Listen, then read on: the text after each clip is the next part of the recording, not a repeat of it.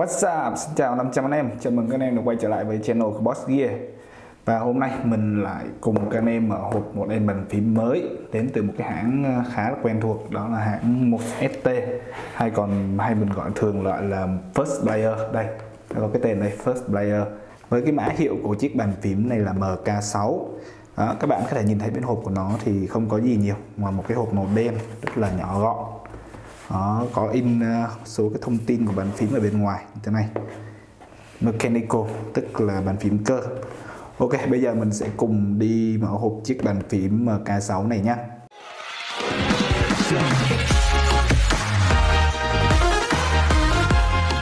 Đầu tiên nhìn sơ qua về chiếc hộp thì chúng ta sẽ có một số cái thông tin cơ bản. Ví dụ như cái tên của nó sẽ là Bullet Hunter. Đó cái này nó sẽ có CEY tức là sẽ thay hỗ trợ thay nóng switch này bàn phím cơ physical cây và cái độ bền của à, cái đèn của nó sẽ đèn RGB 16,8 triệu màu đó. Đến từ hãng First Player Invader mình sẽ cùng vào hộp chiếc pin này. Rồi. Phía bên trong này chúng ta sẽ thấy là một chiếc bàn phím nằm gọn ở phía bên trong hộp không có gì nhiều ngoài một cái hộp bì bóng. Đây là một cái bong bóng dùng để chống sốc. Ở phía trong là chiếc bàn phím. Là không gì khác ngoài chiếc bàn phím luôn. Đó, chống trơn luôn không à nó còn có thêm à, sách hướng dẫn sử dụng. Ngoài ra thì con này nó sẽ có phần mềm uh, tùy chỉnh nữa cho nên nó sẽ còn có một cái đĩa. Nhưng mà có lẽ là cái bản này của mình đã lấy mất đĩa ra rồi rồi, quay trở lại với chiếc bàn phím của chúng ta. Đây, chúng ta sẽ có một chiếc bàn phím full size, gồm tất cả là 104 phím. À không, cái này phải lên tới hơn 104 phím, tại vì nó sẽ có thêm một hàng phím phụ ở đây và cái núm vặn nữa. Thì tổng cộng của nó sẽ phải lên tới khoảng tầm là 108 109 phím lận. Và chúng ta sẽ thấy là nó sẽ được phủ một cái lớp kim loại ở phía bên ngoài. Một cái bề mặt này sẽ là hoàn toàn bằng kim loại luôn. Cái bề mặt play của bàn phím như thế này. Nó sẽ được sơn ờ, lên một cái lớp nhám. Đó lớp nhám nhìn khá là chắc chắn. Ở phía trên đầu này chúng ta sẽ thấy có logo first player. Nó, nó sẽ xuyên led ở chỗ này sẽ phát sáng ở đây. Rồi chúng ta nhìn sơ qua về cái layout của bàn phím thì sẽ là layout 104 phím theo một cái tiêu chuẩn quốc tế. Thì cái layout này sẽ giúp cho các bạn có thể chơi keycap dễ dàng. Đó, và cái chân start của nó cũng rất là dễ thay keycap luôn. Ngoài ra thì về cái phông chữ của em này mình à, thấy hiện tại thì do các à, hãng thì bây giờ nó hình như đã rút kinh nghiệm nhiều rồi cho nên là đã sử dụng những cái phông chữ khá là nhỏ gọn và theo như kiểu tiêu chuẩn chung. Thì như vậy nhìn nó sẽ đỡ tàu hơn rất là nhiều. Chúng ta nhìn thoáng qua một chút về bề mặt thì các xung quanh viền của chiếc bàn phím này sẽ được vắt CNC rất là đẹp. À, cái kiểu vắt CNC này vừa có lợi vừa có hại. Nếu như mà các bạn chưa có nối đất chiếc PC của mình thì rất có thể khi mà các bạn chạm tay vào cái viền này thì nó sẽ gây đến hiện tượng dịch và nếu như các bạn muốn hạn chế cái hiện tượng đó thì một là đi dép hai là các bạn phải nối đất PC của mình. Rồi là sang mặt sau thì chúng ta sẽ có một cái thiết kế khá là đặc dị là nó sẽ có một cái đường vân hình mũi tên hướng lên như thế này. Đó, tất cả đều hướng lên nhìn khá là đẹp. Và cái đường vân này thì cho cảm giác cái ờ, nó sẽ ăn bám bề mặt nhiều hơn nhưng mà mình nghĩ nó sẽ không có tác dụng gì nhiều ngoài cái làm cho đẹp thôi. Ở giữa thì chúng ta sẽ vẫn có cái sticker logo của nhà sản xuất và cái tên của bàn phím Bullet Hunter. Ở bốn xung quanh thì chúng ta sẽ vẫn có cái ờ, miếng đệm cao su và đồng thời là ở hai bên thì chúng ta sẽ có những cái lẫy nâng hạ độ cao của phím. Cái lẫy này thì mình thấy ờ, khi mà mình vặn lên vặn xuống thì nó khá là cứng. Tuy nhiên thì nó được cái điểm cộng đó chính là ở phía trên này. Nó sẽ có một cái lớp cao su ở phía chân để chống trơn trượt khi, ngay cả khi mình đã dựng cái lẫy lên. Nói chung như vậy là khá là ngon chúng ta sẽ đi qua về dây cáp của em này. Dây cáp của em này thì làm khá là đặc biệt nó sử dụng là dây cáp bọc dù chắc chắn rất là dày. Các bạn nhìn này cái độ dày của nó phải nói là cực kỳ luôn. Và nó vẫn sẽ có trang bị cục chống nhiễu cũng như là đầu USB sẽ được mạ vàng luôn giúp cho cái kết nối của mình nó sẽ tốt hơn. Đó, và nó sẽ được trang bị thêm một cái à, dây. Cái dây này thì nó có thể giúp cho mình giữ cho dây nó không bị rối. Thường là xuất hiện trên những chiếc bàn phím đắt tiền mà thôi với giá khoảng tầm 1 triệu thôi, thì em này như vậy, nhìn sâu qua tổng thể thì rất là ngon rồi. Và một cái đặc biệt nữa của em phím này thì nó sẽ đến từ cái cụm ở phía trên đây, phía bên thằng, phía trên bên phải. Cái cụm này sẽ bao gồm tới 5 nút. Đấy, nó sẽ có cái chính chính là cái con lăn như thế này. Cái con lăn này nó sẽ giúp cho mình điều chỉnh âm lượng cũng như là tăng giảm độ sáng của led luôn. Nó có hai tác vụ. Nếu như mà các bạn muốn thay đổi thì các bạn sẽ ấn nút ở phía bên trái như thế này nút này sẽ giúp cho chiếc bàn phím mình đổi cái tác dụng của con lăn tức là đổi sang chế độ ờ, đó là tăng giảm âm lượng hoặc là tăng giảm độ sáng của phím. Ngoài ra thì còn ba nút này sẽ có là nút à, play và next hoặc là previous đó, tức là next hoặc là lùi lại bài phía sau ở phía trên này chúng ta sẽ có ba cái đèn để thông báo đó là num lock cap lock với lại scroll lock. Mấy cái đấy thì cũng không quan trọng lắm về phần keycap của em này thì sao? Keycap của em này thì vẫn được làm double shot. Và mình thấy đặc biệt là con này rất là giống cái con à, full length subverter mà mình vừa mới làm trước đây. Thì nó sẽ có bộ keycap khá là dày và đồng thời sẽ double shot tràn viền như thế này. Rất là chất. Và những cái con keycap double shot như cái này thì các bạn yên tâm sẽ không bao giờ bị bay chữ nhé. Và đồng thời là cái cảm giác gõ của nó cũng tốt hơn những keycap làm mỏng mà không tràn viền nói chung là hiện tại à, có rất là nhiều hãng sản xuất đã rút kinh nghiệm và làm keycap như thế này khá là đẹp. Ngoài ra thì à, cũng như con vector thì con này nó sẽ làm bóng bốn cạnh của keycap như vậy thì sẽ giúp cho cái đèn led hắt lên khá là đẹp lung linh. Mà tuy nhiên cái mặt trên này vẫn là mặt nhám nhé thì giúp cho các bạn có cảm giác à, bám phím tốt hơn. Về switch của em này thì em này đang sử dụng đó là blue switch. Tuy nhiên thì nó sẽ là switch cơ học chứ không phải là switch uh, quang học như con subverter và nó sử dụng switch là switch của thằng à, Otemu một trong những switch cũng khá là nổi tiếng. Và cái tiếng clicky của con này cũng khá là êm tai chứ không phải là thuộc dạng à, đanh và chắc như là con full length. Tuy nhiên thì nó là blue switch thì nó vẫn sẽ có tiếng clicky cho nên các bạn phải lưu ý là nếu như các bạn không thích ô nào thì cũng không nên con mua con này, tại vì con này bấm sẽ có phát ra tiếng click key khá to. Ngoài ra thì à, switch của em này còn có hỗ trợ khả năng đó là thay nóng switch tuy nhiên một cái có khá là bất cập là trong cái hộp của con này thì lại không có tặng kèm bất kỳ cái switch nào mà cũng không có tặng kèm cái nhổ switch luôn. Cho nên nếu mà các bạn muốn thay switch cho con này á, thì phải khá là vất vả và phải mua thêm một cái nhổ switch nhé. Các bạn đừng nhổ bằng tay không có nhổ được đâu. Và khi mà mình thay switch thì lưu ý là một số cái switch nó sẽ không có chân nhỏ như những con này. Cho nên mình phải mài hoặc là bóp cái chân hai cái chân đồng ở phía dưới để mình lắp vào đây thì nó mới vừa. Ok bây giờ mình sẽ sang cái hệ thống đèn led của em này. Em này đang sử dụng hệ thống đèn led RGB 16,8 triệu màu. Đó, Như các bạn đã thấy thì ờ, mặc dù trong phòng cũng khá là sáng Nhưng mà cái đèn led của nó cũng rất là nổi bật Đủ để cho các bạn thể nhìn thấy trong ban ngày. Và đặc biệt hơn là khi mà các bạn nhìn nghiêng Tức là thường như thế này là khi mà các bạn sử dụng thì các cái đèn led của nó sẽ hắt lên các cái phần bóng của những cái chiếc keycap thì nó sẽ giúp cho cái đèn led của con phím này nó lung linh hơn rất là nhiều. Ngoài ra thì các bạn có thể, như các bạn đã thấy là cái logo của nó cũng sẽ phát sáng nhưng mà rất tiếc là nó chỉ có phát sáng một màu đó là màu trắng và thôi. Nhìn về phía bên góc bên phải thì các cái nút như là nút next bài hoặc là play, đó thì nó sẽ có hiện cái đèn màu trắng thì nếu như mà các bạn bấm cái nút phía bên à, tay trái như thế này à, nếu như các bạn bấm cái nút phía bên tay phải như thế này nếu mà nó sáng thì là sẽ hỗ trợ cho các bạn tăng giảm độ sáng của chiếc bàn phím như thế này. Đó các bạn lăn thì tăng giảm độ sáng. Còn nếu như các bạn à, tắt nó đi thì nó sẽ là có chức năng tăng giảm âm lượng trên máy nhé. Thường thì mình sẽ hỗ thường thì mình sẽ để là chế độ uh, tăng giảm âm lượng mà thôi chứ còn uh, giảm độ sáng thì các bạn cũng có thể ấn Fn cộng với nút xuống hoặc là nút lên. Và thường là mình sẽ để mắt độ sáng chứ chả bao giờ giảm đi làm gì.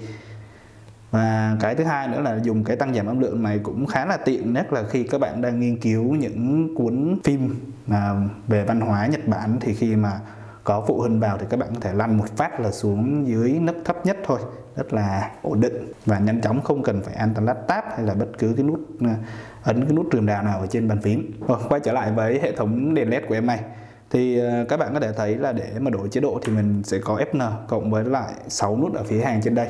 Thì 6 nút này sẽ giúp cho các bạn điều chỉnh các cái chế độ led ví dụ như là chế độ ờ, sáng một màu này đó chớp tắt hoặc là đổi liên tục vân vân có rất là nhiều chế độ.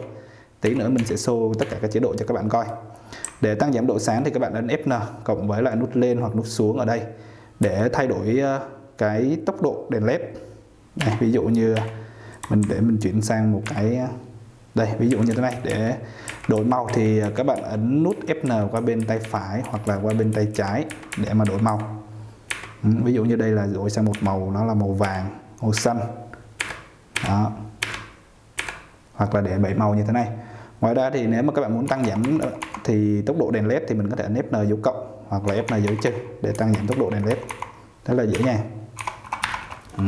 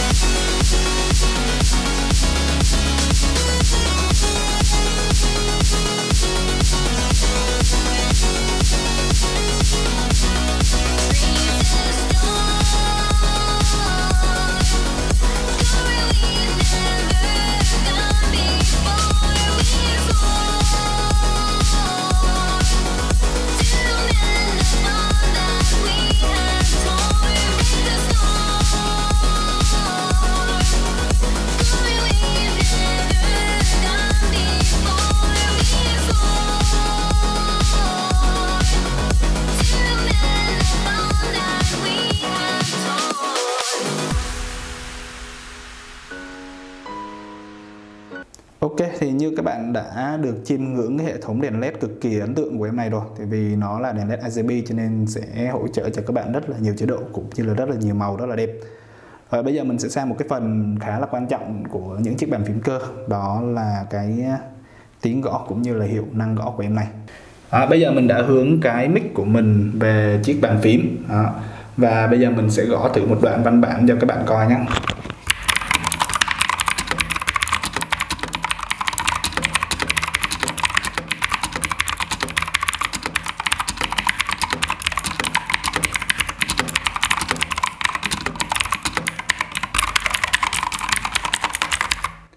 Đó, như các bạn đã thấy thì cái tiếng clicky của em này cũng khá là ổn. Với ờ, nó không có quá là đanh như là thằng full length nhưng mà nó đủ để cho mình cảm nhận được đây là blue switch có tiếng clicky và cái con Hono này mình thấy nó cũng khá là nổi tiếng trong cái ờ, giới làm switch nhất là những cái switch đến từ tàu. Và có một cái cảm nhận của mình nữa là khi mình bấm thì lực nhấn của con này có vẻ là nặng hơn. Một số con ví dụ như là con full length S ấy, thì nó sẽ nặng hơn và tiếng của nó sẽ đầm hơn. Các cái nút như là nút shift hoặc là nút enter, những nút dài thì nó khá là chắc chắn và không hề có nghe thấy tiếng lọc sọc.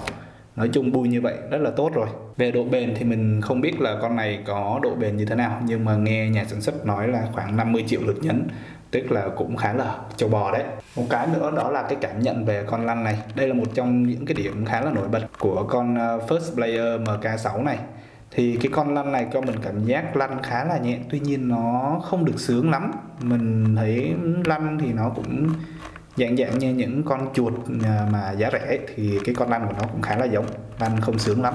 Nếu mà con này với lại cái con à, ngày xưa mình có review, cái con đó là cái con tai luôn á, thì con này lăn cũng không sướng bằng con tai luôn nhưng mà với cái giá như thế này, đồng thời là được bảo hành chính hãng ở Việt Nam nữa với giá khoảng tầm 1 triệu thôi như vậy thì quá là ngon rồi bảo hành lên tới 2 năm cơ mà Ok rồi vậy bây giờ mình sẽ tóm cái váy lại về chiếc bàn phím này với tầm giá khoảng 1 triệu đồng các bạn sẽ được những gì và mất những gì Đầu tiên thì chúng ta sẽ được một cái đó là cái form chuẩn của nó với cái bộ keycap, bộ layout phải nói là cực kỳ chuẩn và rất là ngon. À, có thể các bạn khi mua bàn phím cơ thì chưa cân nhắc đến việc chơi keycap nhưng mà một thời gian sau thì các bạn chán rồi thì các bạn có thể thay keycap được. Và những cái con bàn phím có layout dị thì rất là khó chơi rất là bất tiện. Cho nên những con bàn phím có cái layout chuẩn như thế này thì chơi rất là ngon. Và đồng thời cái phông của nó cũng nhìn khá là dễ chịu nữa không có tàu như những con kia. Ngoài ra thì con này bui khá là chắc chắn nữa. Phía trên thì hoàn toàn là một lớp kim loại rất là dày. Cho nên nó sẽ không có hiện tượng là bị à, tức là bị rung rinh hoặc là bị bóp méo à, trong cái quá trình vận chuyển. Cũng như là khi mà mình đứng lên bẻ thì nó sẽ không có bị cong vân rất là tốt. Tiếp theo nữa là chúng ta sẽ vẫn có một cái à, cụm phím multi rời như thế này giúp chúng ta có thể điều khiển nhanh tắt giảm âm lượng hoặc là bật tắt là next bài ở trên à, multimedia. Đó. một trong những cái tính năng mà mình thấy là thường là chỉ xuất hiện ở những chiếc bàn phím cao cấp mà thôi. Một cái không thể bỏ qua của chiếc bàn phím này đó chính là cái hệ thống đèn led RGB uhm, phải nói là bây giờ RGB nó rất là phổ biến rồi và cũng không có gì là quá khó khi tìm được một chiếc bàn phím RGB giá dưới một triệu nữa. Tuy nhiên thì ờ, với các cái tính năng kể trên kèm với đèn led RGB nữa thì là quá tuyệt vời. Ngoài ra thì chúng ta sẽ phải kể đến đó là cái dây bọc dù chắc chắn này, đầu USB mạ vàng, có cục chống nhiễu vân vân. Nhưng mà cái đấy thì cũng không quan trọng lắm. Với cái giá một triệu thì chắc chắn phải có rồi. Về nhược điểm của em này đó là nó sử dụng một cái switch của Hono thì cái switch này thì nó cũng không có tiếng tăm gì nhiều. À, tuy nhiên thì nó sẽ đổi lại được một cái đó là nó sẽ giá thành của nó sẽ hạ xuống còn khoảng một triệu mà thôi. Và nó chỉ có blue mà thôi không có red hoặc là brown. À, hết rồi. Con này chắc không còn cái điểm nào mà đáng chê nữa. À, ngoài ra con này có một cái nữa đó là được phân phối chính hãng từ Ninja cho nên sẽ được bảo hành lên tới 2 năm. Quá ngon đúng không các bạn? Ok, với tầm giá 1 triệu thì các bạn à, thấy sao với chiếc bàn phím này? Hãy comment ở phía bên dưới video để mình biết thêm các cái ý kiến của các bạn về chiếc bàn phím này. Đồng thời nếu mà các bạn muốn mua hoặc là muốn xem thông tin về chiếc bàn phím thì mình sẽ để link ở phía dưới phần mô tả nhé nếu các bạn muốn xem thêm những video clip về những chiếc gaming gear ở Boss Gear thì các bạn cũng có thể coi video phía bên tay phải đây, hoặc là video bên tay trái đây. Và nếu như các bạn à, thấy hay thì nhớ cho mình một like và share, subscribe kênh của mình ở ngay đây nhé. Cảm ơn các bạn đã theo dõi video. Bye bye!